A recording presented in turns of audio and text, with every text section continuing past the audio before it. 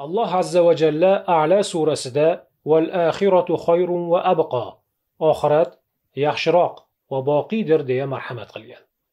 مالك بن دينار رحمه الله تدكي لو كانت الدنيا من ذهب يفنى والآخرة من خزف يبقى لكان الواجب أن يؤثر خزف يبقى على ذهب يفنى.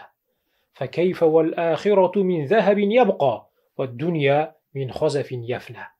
Ya'ni agar dunyo foniy bo'luvchi ya'ni yo'q bo'lib ketadigan oltindan u oxirat esa boqiy qoladigan sopoldan bo'lganida edi oqil kishi albatta boqiy qoladigan sopolni tanlagan bo'lar edi.